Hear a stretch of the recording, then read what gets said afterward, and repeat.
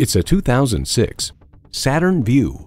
From the daily needs of your family to yours as a driver, this Vue gives you a lot to love.